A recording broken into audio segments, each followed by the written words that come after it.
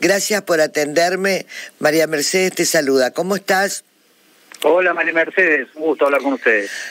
Bueno, contame, cerraron, abrieron, ¿cómo es la situación real hoy de, las cataratas del Iguazú? Bueno, la situación del Parque Nacional Iguazú actualmente abrió sus puertas, reabrió sus puertas, eh, luego de una crecida extraordinaria del río Iguazú, que nos obligó a cerrar en el día de, anteayer por la tarde y ayer. Eh, por suerte el caudal del río está en bajante ahora y nos permite habilitar los paseos inferior y superior aquí de las cataratas de Iguazú. Bien, ahora esto, este caudal de agua, ¿es producto de las lluvias, Atilio? Sí, sí, aquí veníamos con mucha lluvia, eh, no solamente aquí en lo que es eh, Puerto Iguazú, en el norte de la provincia de, de Misiones, sí sino en toda la cuenca del río Iguazú, que tiene su mayor recorrido en lo que es el territorio de Brasil.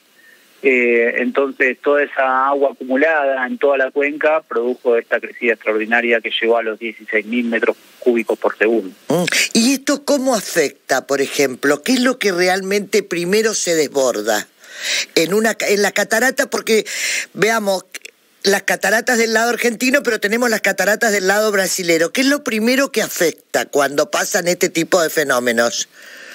Sí, mira, eh, la afectación es por igual, ¿no? Eh, tanto del Parque Foz de Iguazú como el nuestro, eh, el mismo sistema hidrológico, son las mismas cataratas, entonces nos afectan por igual a, los dos parques, tanto del lado argentino como del lado brasilero. Eh, nosotros lo principal que se afecta con la creciente es lo que es el circuito garganta, que ya estaba cerrado unos, unos días antes. debido a esta creciente. La garganta del diablo. Eso está del lado brasilero, Atilio. No, eso está del lado argentino. Argentino.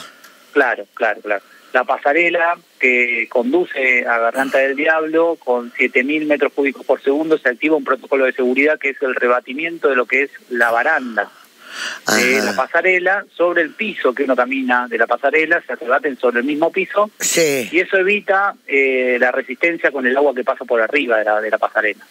Eso Con eso evitamos el daño de lo que es la estructura de pasarela. Claro. Eh, posteriormente el agua siguió ascendiendo y bueno, al, día de, de anteayer nos, nos vimos en la, la imposibilidad de, de seguir manteniendo abiertos los, los otros dos circuitos que son el inferior y el superior. Ajá.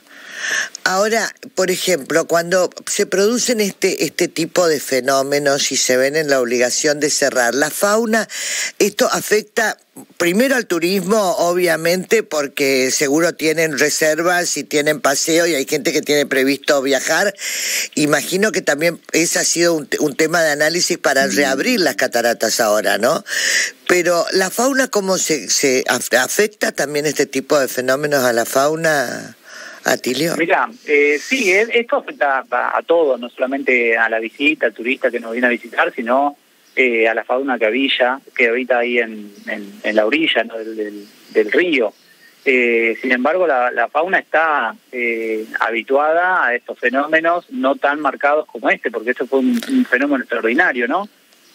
no se registraba el cierre del Parque Nacional desde el 2014, hace ocho años.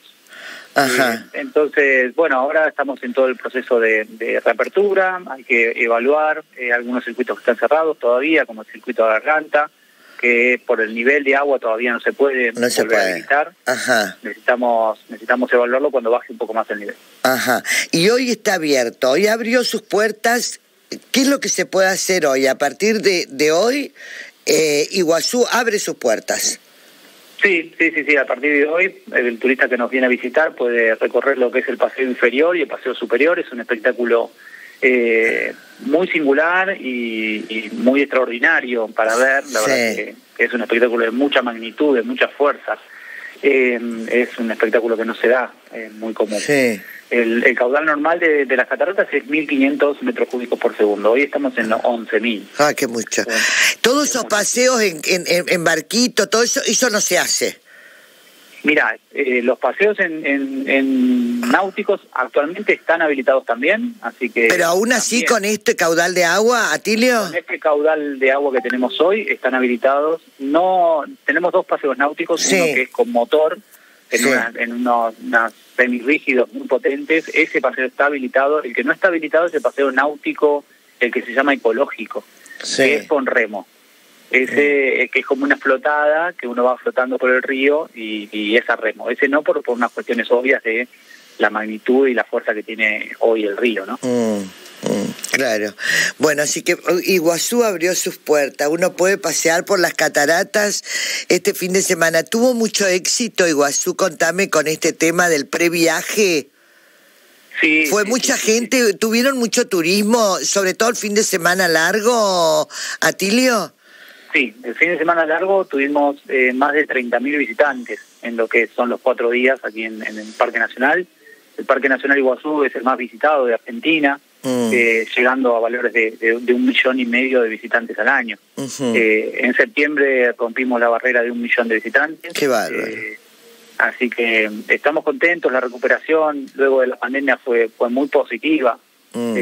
alentada no por esto por estos sistemas que han implementado que es el previaje tanto el 1 el 2 y el 3 así que eso trajo mucho turismo para acá para toda Argentina en realidad, ¿no? Sí, sí. Eh, es sobre todo turismo nacional el que estamos recibiendo, eh, turismo del Mercosur, eh, y se espera para noviembre que empiece a repuntar lo que es el turismo internacional.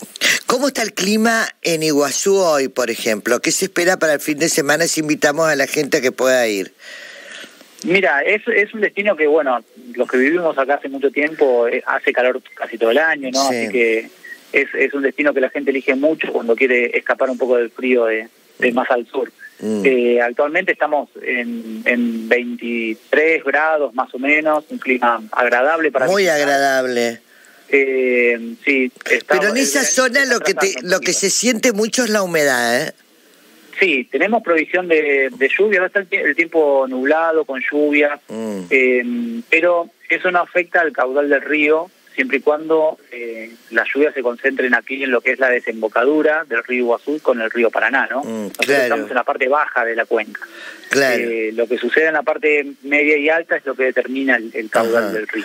Y dada tu experiencia en este tema, Tilio, ¿esto nos va a afectar a los correntinos? Mira, yo creo que por lo breve que fue el periodo de, crecida, no creo. Hemos pasado otros periodos donde el agua se, se mantiene mucho más sin embargo, creo que, que sí, que va, va, va por lo menos a repuntar eh, los valores del río Paraná, mm. que, que bueno, que en la pandemia estuvo muy, muy por debajo, ¿no? Mm. Aquí lo sufrimos, ustedes también, eh, muchas localidades sin agua, debido a la bajante extraordinaria que hubo también. Claro. Eh, estos periodos son, son buenas consecuencias un poco del cambio climático también. Claro. Atilio, y contame una, qué privilegio el tuyo ser intendente de, del Parque Iguazú, ¿eh? Qué lindo laburo, ¿no?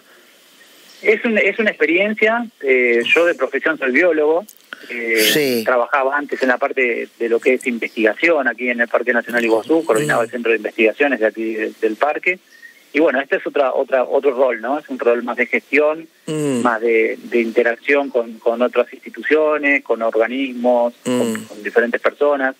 Eh, es otro rol, eh, tengo muchas personas a cargo, o sea, somos 85 los que trabajamos en el Parque Nacional, sumado a las concesionarias que brindan servicios en el área, eh, estamos hablando de entre 300 y 500 personas dependiendo de la época del año. 300, 300 proveedores, de 300 a 500 proveedores tiene el Parque Iguazú.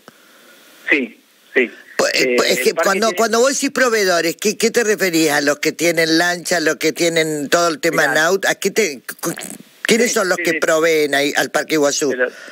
Sí, mira, nosotros tenemos eh, una asociación de guías, por ejemplo, con eh, más de 100 guías habilitados para prestar servicio en el Parque Nacional Iguazú. Eh, son guías profesionales de turismo. Después tenemos toda la parte de la, de la concesión, de lo que es el cobro de acceso, mm. el tren ecológico que transporta gente adentro del área. Mm. Eh, en esa empresa también son, son más o menos arriba de 100 personas, 150. Mm. Eh, tenemos los paseos náuticos, que es otra concesión, que es un servicio que brinda la empresa Jungle, eh, Iguazú Jungle se llama.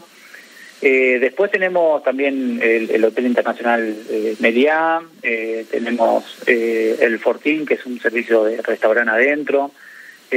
son muchas personas y muchos servicios los que presta el mm. Parque Nacional, ¿no? Claro.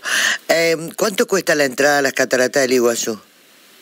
Depende de la categoría. Eh, para, para lo que es escuelas, jubilados, eh, personas con alguna discapacidad, Sí. lo que son las localidades vecinas no tiene costo. No tiene costo. eh, es cero pesos la entrada, pueden venir a visitarnos sin costo. Para la provincia de Misiones tiene un costo de 500 pesos la Sí. entrada. Para el caso del turista nacional es 1.200 pesos la entrada. Sí. Eh, para el caso del turismo del Mercosur son 2.500 pesos y para el turista que nos visita del exterior son Mm. 4.000 pesos. ¿Y qué incluye la entrada al parque, este Atilio? La entrada al parque, al parque incluye eh, la posibilidad de, de- de visitar los circuitos, Mm. que son tres, bueno, que en este momento Garganta por la crecida esta está, Está cerrada. cerrado. Mm. Claro, hasta debemos evaluar qué pasa con que siga bajando el río y poder evaluar. Eh, el servicio de- del, del tren ecológico que te transporta de una, de una estación a otra. Eh, y bueno, y todos los servicios de sanitarios y todo eso. Claro. Luego Y- tenés servicios alternativos, ¿no? El servicio náutico es un servicio alternativo que uno puede hacer con esas dos, dos paseos por ahora, con la proyección de un tercer paseo, que es un paseo en catamarán, que los trae del Parque Nacional Iguazú a la ciudad de Puerto Iguazú. Ah, Ajá. Eh, después tenés un paseo de luna para ir a visitar eh, las cataratas en luna llena. Ay, qué bárbaro. Eh, hay Oh, varias alternativas. qué linda. eh, sí, sí, la verdad que Ah, es un parque muy completo. Atilio, ¿y cuál es la mejor época para ir a las cataratas? Para mí la mejor época es en septiembre. Septiembre. y- sí, ¿Octubre? Antes, antes o después de las vacaciones de invierno, porque vacaciones de invierno es un un destino muy solicitado. Muy solicitado. ¿Y septiembre, octubre y noviembre qué tal es la, la temporada? Mira, está bien siempre y cuando ahora, por ejemplo, se, se retrasó lo que es el verano. eh, un poco nosotros a esta altura del año ya estamos en, en la pileta, bueno, ustedes también, el clima es muy similar. Similar. Eh, y, y bueno, eh, viene viene retrasado el verano, pero en verano hace mucho calor y, y Sí. caminar con calor eh, Caminar con calores, sí, sí, sí. es difícil, No, pero no, bueno, no, también sí. es nada, es, es parte del, del lugar, Sí, ¿no? Bueno, te mojás, te vas tirando agüita y eso te hace más llevadera la cosa. Claro, es Claro. un lugar subtropical. Bien. Entonces hay que saber que venimos a un lugar de calor. Claro, claro que sí. Bueno, Atilio, gracias por atendernos. Muchas gracias. Por ¿eh? favor, por favor, un saludo. Hasta grande. pronto. Gracias. Atilio Guzmán es el intendente de Parque Iguazú que reabrió sus puertas nuevamente. Se había cerrado, sigue cerrado la garganta del, del diablo. Se había cerrado esto por el tema de las altas lluvias y todo esto que había ocurrido. Bueno,